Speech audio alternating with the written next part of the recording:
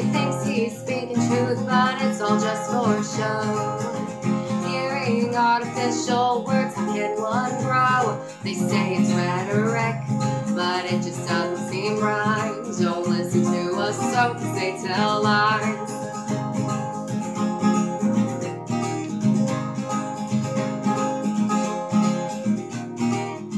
My name's Plato, let me give you all the facts. Play about it, but that's no reason to miss class.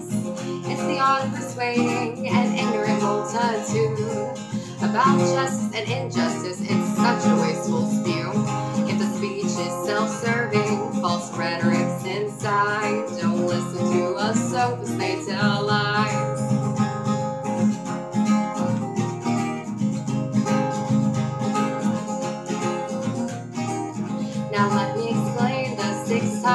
False rhetoric. The first two deal with legality and politics. The next are occasional courts of justice and the state. The last is popular, try to keep them straight. Now on to why they used it, like gave some kind of prize. So don't listen to us, so they tell lies.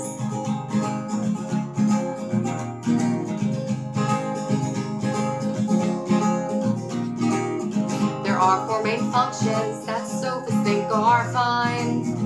One, they want to gain belief, get all in your mind.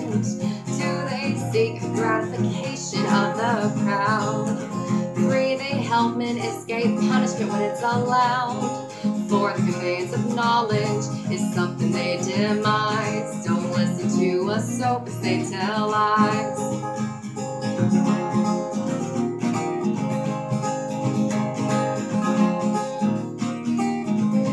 Now you know the types and understand the reasons. Let's move on to what false rhetoric is made of.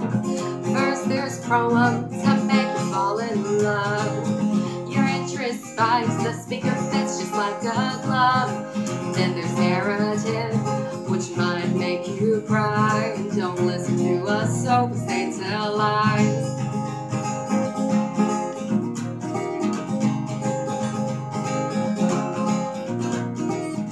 There's also style with the flair of ambiguity. Figures of showiness like paradox and irony. Spotted by flag of organization and brevity. And also its arrangement, but mainly all those damn hyperboles. Like imagery, there's no end to what they might imply. Don't listen to us, so as they tell lies.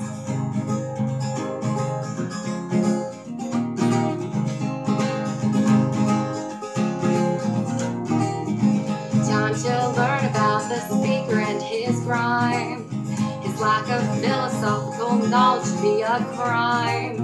His intelligence is common in all too general. And he doesn't even believe in a world that's nominal. He thinks man is the measure of all things and all time. Don't listen to us, so they tell lies.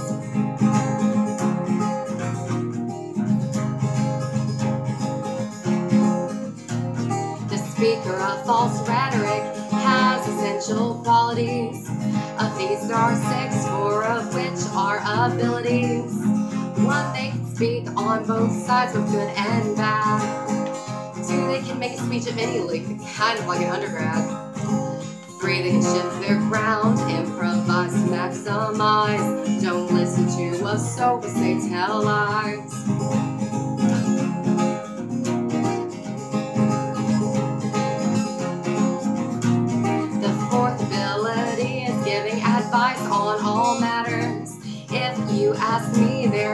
Goal is to flatter. The last two qualities must be the worst in all of history. For one, they are skilled in techniques of treachery. Finally, their courage and intelligence, passion they gratify. Don't listen to us, so they tell lies.